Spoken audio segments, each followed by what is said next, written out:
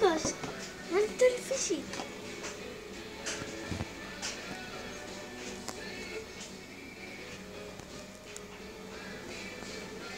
Lucas, cool hè?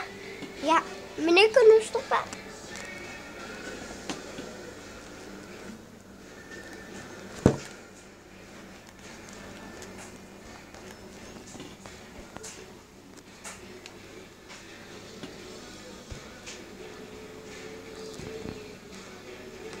Kunnen we stoppen?